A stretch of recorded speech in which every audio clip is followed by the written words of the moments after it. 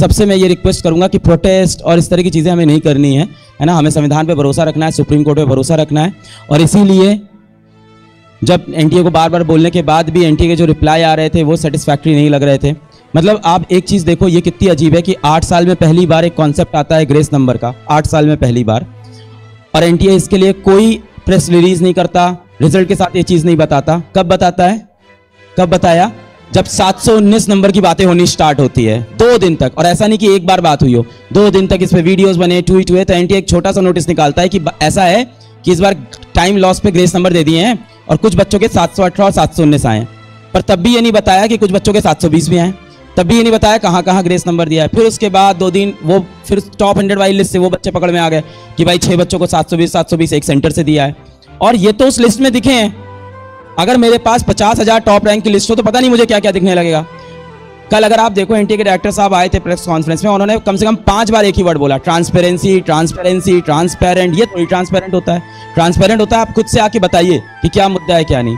तो एनटीए के लिए हमने सारी कोशिश की डायरेक्ट कम्युनिकेशन की। मुझे लगता है एनटीए सिर्फ़ एक कम्युनिकेशन जानता है and that is the communication of honourable courts तो मैंने बहुत कोशिश की एनटीए को लीगल नोटिस भी भेजा एनटीए को बात करने की कोशिश की रिक्वेस्ट भी किया, सब कर लिया। एंड आफ्टर दैट फाइनली हमने एक काम किया कि हमने जाके फिर सुप्रीम कोर्ट में पीआईएल फ़ाइल कर दी, क्योंकि इसके सिवा कोई और ऑप्शन हम लोग के पास नहीं बचा। This this is the only option और मैं ऐसे कोई नारे नहीं लगवाना चाहता कि ऐसा है, वैसा है, ये कराओ। देखिए, हम और आप मिलकर ये डिसाइड नहीं करेंगे क्या होगा।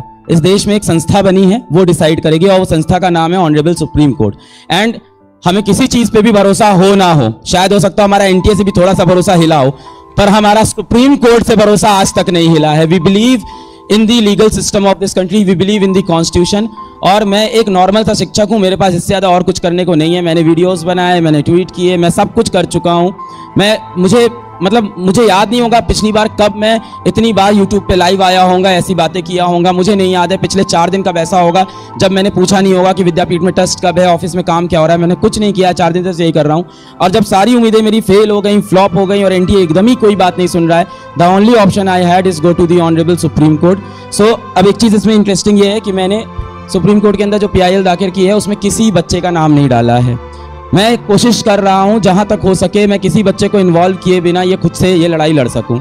तो पीआईएल के अंदर बहुत क्लियर मेंशनड है कि in the supreme court of India civil original jurisdiction writ petition वो तो नहीं बता सकता number PIL in the matter of the PIL is lost Alakh Pandey versus national testing agency तो एकदम सिंपल ये है, किसी स्टूडेंट का इसके अंदर नाम नहीं है। अब मैं इस चीज़ का ना अफेक्टेड पार्टी नहीं हूँ। तो कल को अगर केस होगा तो वो मैं नहीं लड़ सकता क्योंकि मैं अफेक्टेड पार्टी नहीं हूँ। पीआईएल तक मैं कर सकता हूँ क्योंकि वो पब्लिक इंटरेस्ट के लिए। ये बात इसमें मुझे मेंशन करनी है कि इसमें मेरा कोई पर्सनल इंटरेस्ट नहीं होने वाला। बहुत से लोगों ने, पता है, इस तरह के भी वीडियो बनाया ट्वीट किया।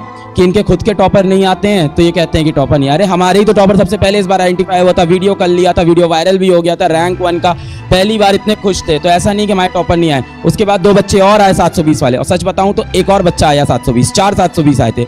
उसमें से एक बच्चा 720 वाला ऐसा था जो झज्जर सेंटर का था, जहाँ पे आपको पता है ग्रेस नंबर मिले हैं। उस बच्चे का एक क्रिएटिव भी बाहर हो गया था। मैंने उस क्रिएटिव को तुरंत डाउन कराया कि इस बच्चे को अपन कहीं भी प्रमोट नहीं करेंगे।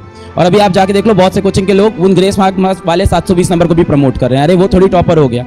तो हमारे यहाँ से भी टॉपर आया था, बहुत अच्छे रिज़ल्ट आए थे। पर पूरे अगर स्केल पे देखें तो बहुत सारे बच्चों को प्रॉब्लम हो रही थी। तो अभी रिज़ल्ट सेलिब्रेशन का वक्त, आज जेई रिज़ल्ट का सेलिब्रेशन चल रहा है ऑफ़िस में। उन बच्चों की क्या गलती? ऑल इंडिया रैंक 52 आई से एक बच्चा था। सिर्फ़ पीडब्ल्यू से पढ़ा ए आई आर फिफ्टी लेके आया। टॉप सौ के अंदर तीन रैंक पीडब्ल्यू से आई। मैं कुछ नहीं सेलिब्रेट कर पा रहा हूँ, मैं इसी में लगा हूँ। आई थिंक एनटीए को और ज़्यादा ट्रांसपेरेंट होना चाहिए था, और ज़्यादा एम्पैथी होनी चाहिए थी, कि समझना चाहिए था बच्चों को क्या प्रॉब्लम है। So the only option I had is go to the supreme court and अब मैं जा चुका हूँ मुझे बहुत ज़्यादा भरोसा है अपनी न्यायपालिका पे। मुझे लगता है वहीं से कुछ भी होगा तो वहीं से इंसाफ होगा।